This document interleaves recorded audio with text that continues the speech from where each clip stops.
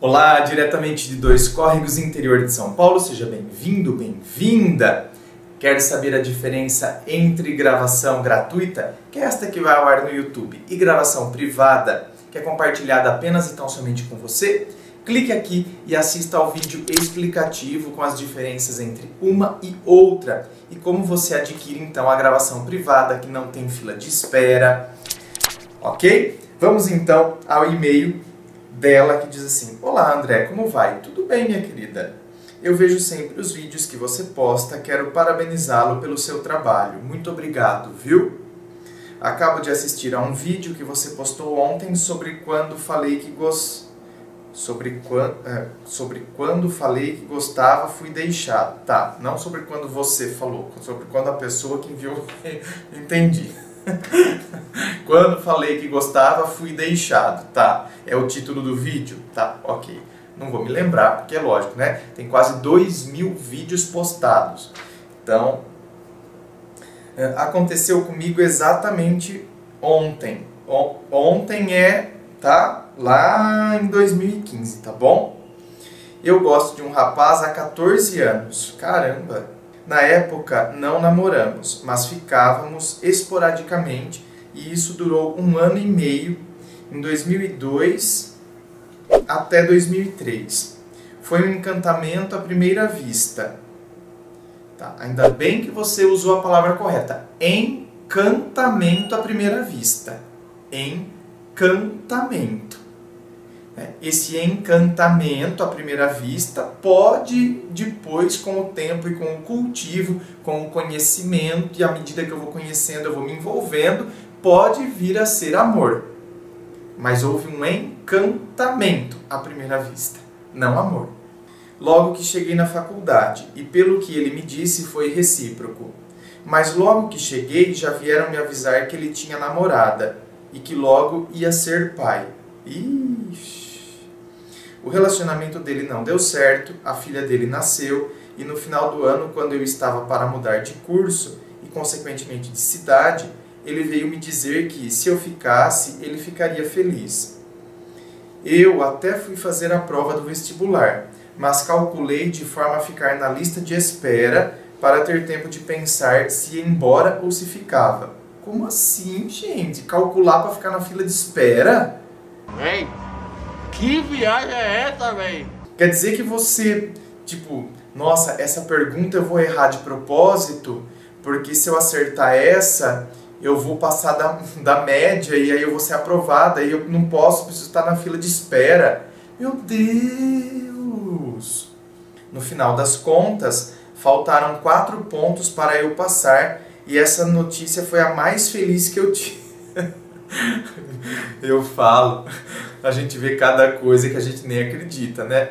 As pessoas ficam todo, já pensou? Faltou quatro pontos para eu passar, não acredito, a pessoa ficaria deprimida. Quatro pontos para eu passar, gente, não acredito. Aí as pessoas vão falar, não, mas calma, vai ter fila de, vai ter fila de, não é fila de espera, né? Vai ter, é, não é fila de espera, caramba, como, ah, esqueci. Enfim, é, vão chamar ainda né? Vai, vão chamar, você vai, fique tranquila. Não, fica... quer dizer, e você por quatro pontos ficou, né?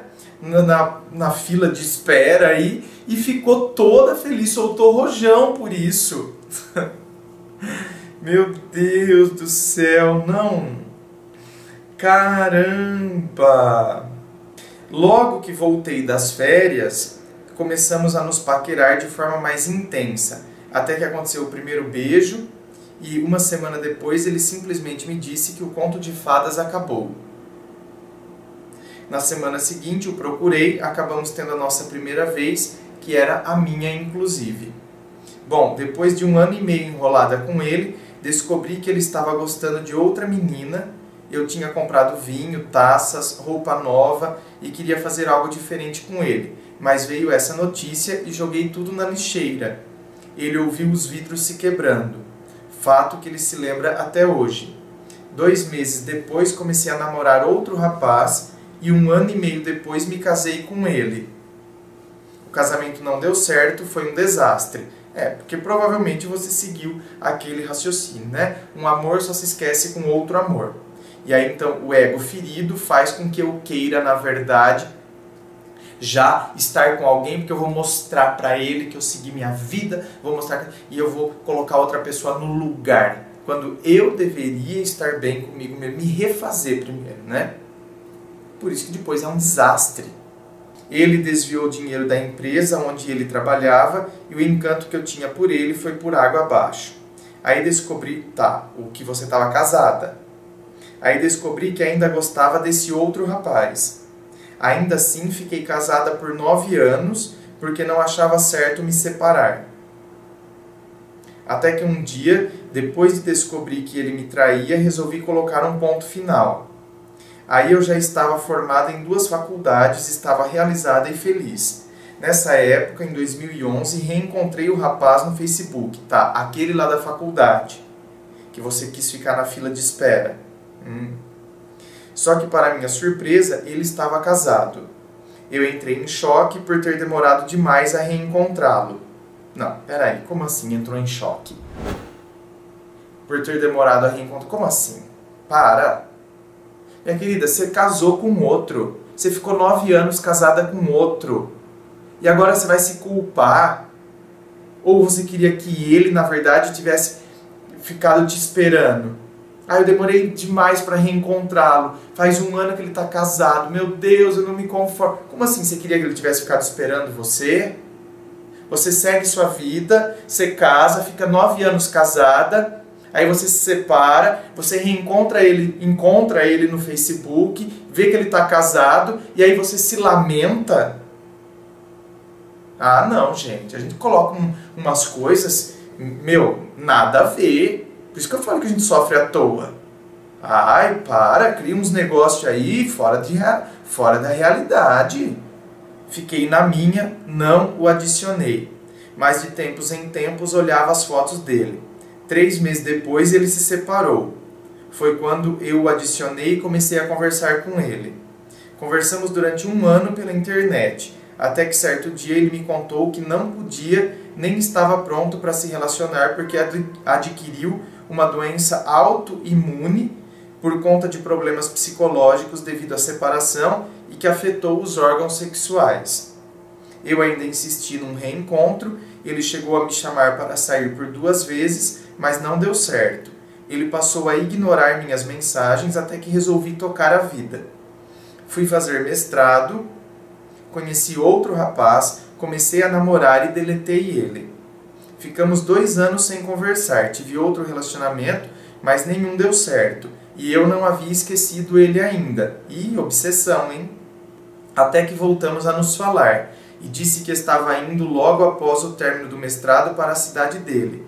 Ele tentou me convencer que ir para o Nordeste seria o melhor caminho, mas eu queria demais um reencontro, queria me aproximar dele. Já consegui até trabalho na cidade junto a um amigo. Me preparei durante dois meses para o reencontro. Roupa, calçado, novo, visual, enfim, de cima a baixo. Ou seja, igual aquela menina, não sei quantos anos atrás, que comprou tudo, roupa nova, vinho, flores e aí jogou tudo na lixeira. Né? Não mudou, você continua igual. Quando eu menos esperava, o convite partiu dele. Nos encontramos na cidade onde nos conhecemos, que fica próximo onde moro. Passamos uma noite incrível, ele romântico, carinhoso, relembrou de fatos que nem eu me lembrava. Mas parece que essas coisas do passado marcaram ele negativamente. Sinto como se eu não tivesse agido da forma como ele esperava e por isso não merecesse ficar com ele. Como se meu comportamento fosse totalmente errado, como se eu tivesse cometido um crime. Dia seguinte, ele já ficou estranho e frio. Voltei para casa, ele não mandou mensagem, não ligou. Fiquei triste e acabei mandando uma mensagem dizendo que tinha sido o melhor final de semana e agradeci por tudo o que ele proporcionou. Ué, mas ele não tinha doença lá que afetava os órgãos sexuais? E vocês tiveram uma noite maravilhosa? Bom, é que a gente imagina que uma noite maravilhosa sempre está ligado a, a né, órgão sexual, enfim. Pode ter sido maravilhosa de outras formas também, né? Enfim, tudo bem. Ok. Ele disse que tinha sido muito bom me rever, ver que estou bonita, vitoriosa e que queria ter ficado mais. Em seguida, mandei mensagem dizendo que tinha novidade e que estava tudo certo para eu ir trabalhar na cidade dele. E ele me perguntou se ele tinha algo a ver com a minha ida. Eu respondi que era por conta da oportunidade profissional de trabalhar com um colega renomado e tentei disfarçar dizendo que não gostava dele como antes para ir para lá por causa dele. Mas alguns amigos e minha mãe me criticaram por eu não dizer a verdade. Fiquei com a consciência pesada e acabei enviando outra mensagem dizendo o real motivo. Porque não estaria sendo eu mesma e que seria leviano da minha parte ter ficado com ele sem gostar e disse que há 14 anos eu sou apaixonada por ele. A resposta dele, na verdade, não me surpreendeu. Ele disse que não queria relacionamento, que eu sabia disso, que aconteceu uma transa. Olha, você sabe que eu ia falar isso? Que você estava criando toda uma coisa, quando na verdade ele, depois da noite que, maravilhosa que ele passou com você, ele não mandou mensagem, ele passou uma noite com você porque ele queria transar com você. Agora, você que ficou obcecada, querendo resgatar aquele encontro lá de trás, quando os vidros foram quebrados, né? E ele escutou o barulho, flores lançadas na lixeira. Eu quero resgatar aquilo, eu quero tirar aquilo do lixo e resgatar aquela oportunidade que eu considero que foi perdida.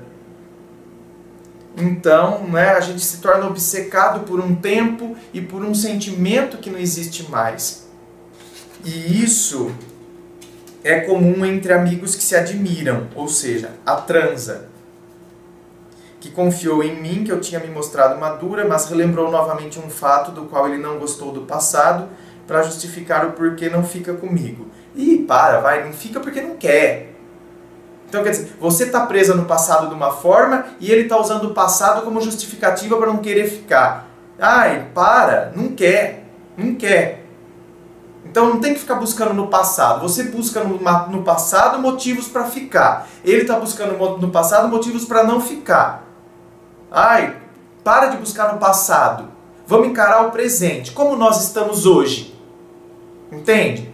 Hoje eu tenho sentimento por você ainda, ou eu quero resgatar um tempo que não existe mais. Eu, por sua vez, tenho sentimentos em relação a você, então não tem por que ficar usando justificativas lá de trás, tendo em vista que nós somos outros mudamos, passamos por tantas experiências. Então vamos parar de ficar, sabe, fuçando o passado.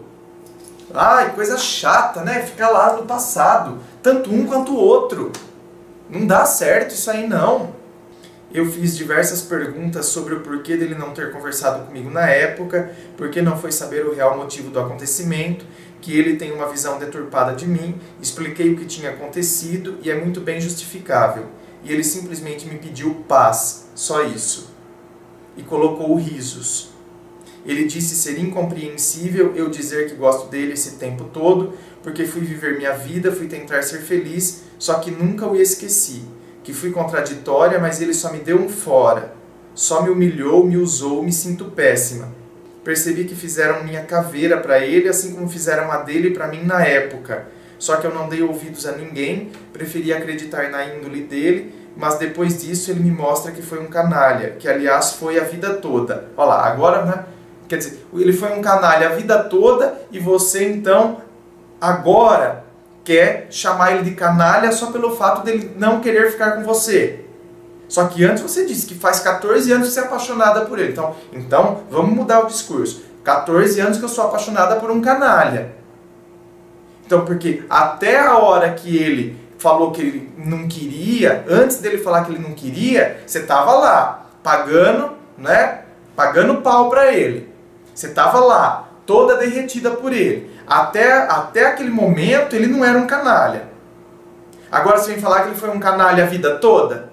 Só porque ele te deu um fora agora, então toda a vida dele ele é um canalha? Bom, então decide como você o interpreta. Depois dele me pedir paz, eu não mandei resposta, embora eu esteja entalado até a garganta de tanta raiva. E é ego isso aqui. É ego, ah, totalmente ego ferido isso aqui. Ixi, nossa, feridíssimo. Se quiser fazer uma análise disso, gravar meu depoimento, fique à vontade. Uh, talvez a minha situação possa ajudar a outras pessoas. Obrigada pela atenção. Eu que agradeço, minha querida. Tá feita a análise aqui. Vamos tomar cuidado, né? Essas coisas de passado, né? A gente fica no passado, um amor se esquece com outro amor, aí a gente entra numa relação pior, né? tem coisa aqui que dá pra gente tirar pra nossa vida com certeza. E deixar no passado o que é do passado e precisa tomar cuidado porque não é porque a pessoa nos rejeita, ela nos rejeitou naquele momento. E aí a gente transforma ela num grande ser, quando na verdade até ontem a gente estava falando que ela era maravilhosa, fantástica e com ela a gente queria passar o resto da vida porque sempre fomos apaixonados por ela. Então, vamos perceber as nossas, às vezes as nossas incoerências. É, é necessário que a gente perceba, né? porque senão a gente não consegue também reajustar muita coisa em nós. Inscreva-se, fico aqui aguardando a sua inscrição, me acompanhe nas redes sociais, Instagram, Facebook, fico aguardando você lá. Muito obrigado, beijo no coração e, é claro, um forte abraço.